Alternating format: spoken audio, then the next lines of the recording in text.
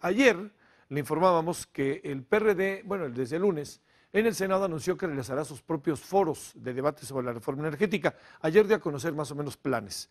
Ayer hablamos con David Penchina, senador del PRI y el encargado de la Comisión de Energía. Él nos dio razones respecto a por qué el PRD se salió y que el PRD sí estaba informado, así no lo dijo, y que el PRD le propusieron una lista y que firmaron un acuerdo el jueves pasado. Eso nos dijo David Penchina ayer aquí en Canal 11. ¿Qué nos dice Miguel Barbosa, quien es el coordinador parlamentario de los perredistas, de los senadores perredistas, allá en, eh, la Avenida Reforma y Avenida Insurgentes? Miguel, senador, gracias que tomas la llamada. ¿Cómo estás? Hola Javier, buenos días, a tus órdenes. Eh, ¿Es cierto que ustedes estaban enterados y firmaron un acuerdo el jueves? ¿Es cierto que el lunes no habían presentado ustedes su lista? ¿Es cierto que incluso la presencia del ingeniero Cárdenas se hizo porque ustedes lo pidieron y eso se dio como una parte de una búsqueda de entendimiento, Miguel? Bueno, mira, eh, nosotros formamos parte de un acuerdo que se firmó en la Junta de Coordinación Política, que se aprobó en el Pleno y en donde se estableció que habría foros del día lunes al día 8. Primero se dijo que al día 4 nosotros pedíamos su ampliación y se amplió al 8 de octubre. Eso fue el día jueves. Para el día viernes dijimos que tendría que haber un acuerdo en el cual se establecerían los nombres de los ponentes, expertos, académicos, eh, voces con peso en el tema y el, el, acuerdo sobre los temas a desarrollar. Eso iba a ser el día viernes. No hubo ese acuerdo. O sea, la verdad, eh, hay que actuar con honestidad. Yo no quiero señalar de mentiroso quien lo ha dicho de otra forma, pero no hubo un acuerdo el día viernes respecto a nombres de ponentes y de temas. Hubo una lista, una lista que nos presentó el PRI. ¿Quién estaba proporcionando esa lista? La Secretaría de Energía, este Pedro Joaquín Codro. Me consta quién es quien estaba proporcionando esa lista de nombres no confirmados. Ahí estaba el nombre de Andrés Manuel López Obrador, ¿sí? que cuando se difundió que estaba el nombre, pues desde luego salió diciendo que él no asistiría. Es decir, un poco el asunto de llevarlo al contraste entre quienes quieren participar, quienes quieren dialogar y quienes no quieren dialogar. Entonces, el día viernes solamente había acuerdo de nombres y temas sobre la mañana del día viernes, del día lunes. Y desde luego, nosotros propusimos que arrancaran los foros con el ingeniero Cuauhtémoc Cárdenas, ¿sí? Entonces, llegamos al día lunes, bueno, esa preocupación la tuvimos desde el viernes, estoy diciendo, al día siguiente que la Junta de Coordinación aprobó y que el Pleno aprobó, ¿sí? Y el día viernes dimos conferencia de prensa, la puedes registrar en medios, donde expresamos todas las preocupaciones.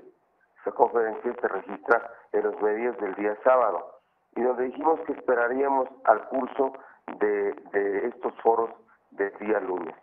Para el día lunes no había acuerdo más que para la mañana, no para la tarde, ¿sí? Y de la lista que se proponía, hasta 10 ponentes por, que hablarían en favor de la propuesta gubernamental, de la propuesta de reforma energética gubernamental, por uno que hablaría en favor de la propuesta de reforma energética del PRD. ¿Qué es lo que hay en realidad? hay la decisión de aprobar la reforma energética en la segunda o tercera semana del mes de octubre. Entonces, desarrollar estos foros apresurados, sin organización, sin confirmación de ponentes, sin confirmación o acuerdo de temas. ¿De qué se trata? Se trata de una escenografía ya establecida, de una decisión ya tomada, para que el día 8 concluyeran los foros y que lo que quedara sería la dictaminación en comisiones y el paso a pleno, primero en el Senado y después en Cámara de Diputados. son foros que están, tienen como, como propósito ese, ese, el de crear un escenario falso de inclusión, de pluralidad. Por eso decidimos nosotros separarnos de los foros, no del proceso legislativo, de los foros nuestra presencia, participación en el debate en comisiones en pleno, ahí estará. no vamos a hacer obstrucción legislativa, no vamos a tomar tribuna, pero no vamos a ser parte de un escenario que nos lleve a una participación funcional y de acompañantes a una decisión de cómo transitar en la construcción desde el gobierno federal de la propuesta de reforma energética. Senador, eh, sí, oye, senador, a ver, te, planteo entonces, a ver, una situación, yo creo que no nos hagamos. Eh, se está planteando por una parte el movimiento de artículos constitucionales. Ustedes han planteado a la izquierda, incluyendo a Morena en su conjunto, que no. Eso no va a cambiar, senador. O sea, no, no creo que, que, una parte diga, viéndolo bien, no muevo la Constitución, y otra parte diga, bueno, muévanlo, por más que el ingeniero Cárdenas haya dicho que por lo menos esa parte constitucional no estaría de acuerdo. O sea, vamos a entrar en un proceso de, de entrampamiento y te diría, ¿tiene alguna utilidad entonces, lo digo con toda claridad, hacer foros tanto ustedes como el Senado allá al interior de, de, la, de la sede del Senado en Insurgentes y Reforma? La utilidad es darle elementos a la sociedad que se celebren a cabo foros, debates públicos, para poder, para poder dotar a la gente de elementos para tener el criterio de cuál debe ser la reforma energética que se debe aprobar. Y tú lo ubicas perfectamente. Solo hay dos propuestas, no tres propuestas. ¿sí? La que propone reforma constitucional y admite la participación de capital privado nacional o extranjero en áreas estratégicas para compartir la renta petrolera y la nuestra, que no propone reforma constitucional, sino propone reformas a leyes secundarias para lo que hemos llamado modernizar Pemex sin privatizar. Entonces, son dos propuestas perfectamente claras en donde los foros nunca van a mover un solo voto de legisladores, pero que tiene como propósito informar a la sociedad. Esa parte hay que atenderla siempre, porque finalmente la sociedad es quien tiene que otorgar ese derecho. Nosotros eh. seguimos insistiendo en que se consulte a la gente, que se haga un referéndum.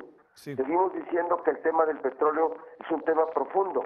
Y yo te quiero decir una cosa, dime qué plataforma electoral, qué partido de los que se de los que compitieron en el 2012, con los cuales están integrados los órganos del Estado, desde presidente de la República hasta Congreso, tenía en su plataforma una propuesta de reforma constitucional sobre materia energética. Ninguno. senador. Por tanto, es, es de estos casos donde se surte el, el, el, supuesto de tener que consultar a la gente para poder legislar en esa materia. Senador, para concluir, que este, para ir a una pausa, te planteo, este, está claro dónde se desarrollan los del Senado. ¿Ustedes cuándo empiezan? En breve y cuándo, va a empezar todo esto de los foros que está organizando la izquierda.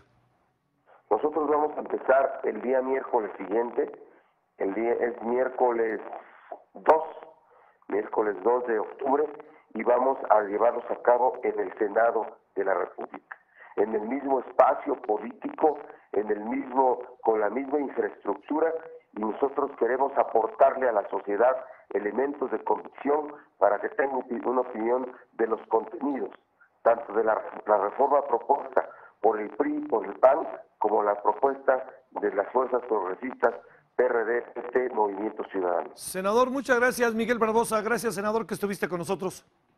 Javier, buenos días. A ti, gracias. Gracias.